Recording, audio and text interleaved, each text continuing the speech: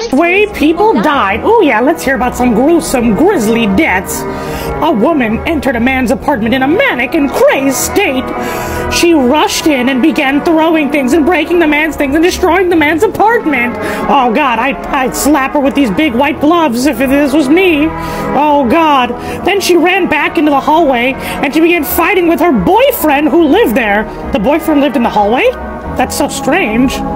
Oh god, the man immediately called the police, but it was too late. The woman crawled into the garbage chute and fell 16 stories into the dumpster? What, she thinks she was Super Mario? She go, it's me, Mario. I jumped in the tube. Yeah, police found her unconscious in the dumpster. She did not survive.